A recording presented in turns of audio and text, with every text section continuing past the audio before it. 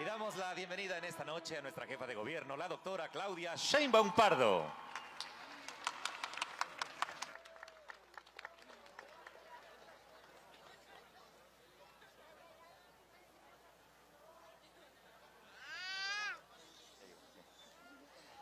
Muy buenas noches, tengan todas y todos ustedes.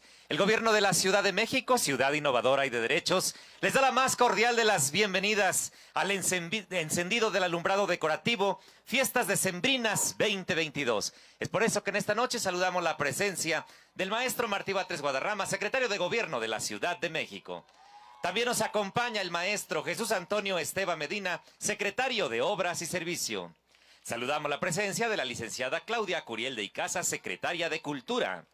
Así como la presencia de la maestra Dunia Ludlow de Loya, subsecretaria de Programas de Alcaldías y Reordenamiento de la Vía Pública. Saludamos también al maestro José Manuel Oropesa Morales, coordinador general de la Autoridad del Centro Histórico de la Ciudad de México. Y a la maestra Loredana Montes López, titular del Fideicomiso Centro Histórico de la Ciudad de México. Agradecemos la presencia en el presidium de las niñas y niños integrantes del coro de pilares de la Secretaría de Cultura y muy especialmente a las y los trabajadores de alumbrado público de la Ciudad de México. Y preside esta actividad la jefa de gobierno de la Ciudad de México, doctora Claudia Sheinbaum Pardo. Del mismo modo, agradecemos contar con la gentil presencia de todas las personas que amablemente nos acompañan en esta noche, destacando a las y los habitantes de la Ciudad de México. Damos la bienvenida a todos los visitantes nacionales y extranjeros que nos acompañan. Saludamos a los representantes de medios de comunicación y a quienes nos siguen en esta noche a través de plataformas digitales. Sean todas y todos bienvenidos.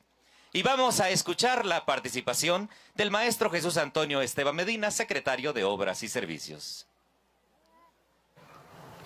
Pues muy buenas noches a todas y a todos. Muchas gracias por compartir este momento del encendido de alumbrado, que ya se ha convertido en una tradición. Cada vez se acercan más personas a, estos momentos y les comparto algo de la información respecto a lo que hoy vamos a encender. Eh, como cada año elegimos temas que tienen que ver con nuestras tradiciones, con nuestra cultura. En este caso es una piñata, eh, una piñata típica de México, que es una de las tradiciones o de las artesanías que además con lo que nos reconocen a nivel internacional. Eh, y frutas, frutas que tienen que ver con lo que se cultiva en nuestro país, la caña, los cacahuates, este, la jícama, eh, mandarinas, guayabas, tejocotes, todo lo que ven alrededor que tiene que ver con el ponche, que tiene que ver con, estas festividades.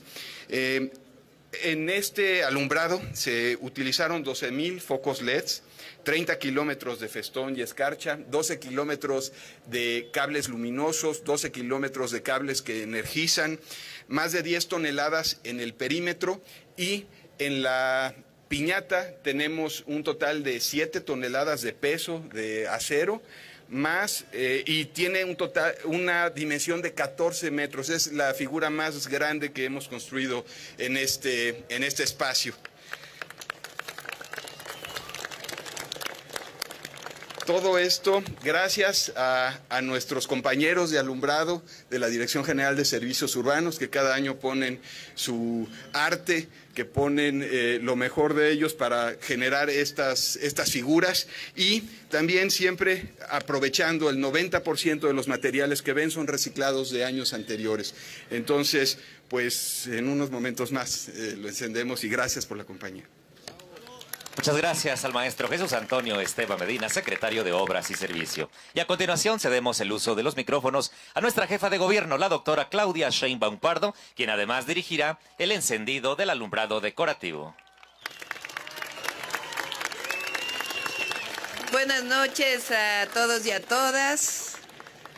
Pues hoy es un día especial porque estamos encendiendo las tradicionales luces aquí en el Zócalo de la ciudad y con esta increíble piñata que hicieron nuestras trabajadoras y trabajadores de alumbrado público, como ya lo dijo Jesús, es el objeto más grande que se haya puesto en este lugar y es especialmente para estas fechas. Quiero desearles a todos lo mejor este fin de año. Son momentos de estar en familia, de querernos. Regalen siempre amor, lo material no es importante. Lo más importante siempre es el amor que le podamos dar a nuestros hijos, a nuestras hijas, a nuestros padres, a nuestras madres, a toda nuestra familia y a nuestros amigos. Así que les deseo todo lo mejor, estas posadas, esta Navidad y feliz, feliz 2023. Muchas gracias a todos y a todas y vamos a prender las luces. Bien, y aquí vamos a participar todas y todos nosotros haciendo un conteo regresivo. Y dice, aquí en compañía de los niños integrantes del coro, y dice 10, 9, 8, 7, 6, 5, 4, 3, 2, 1.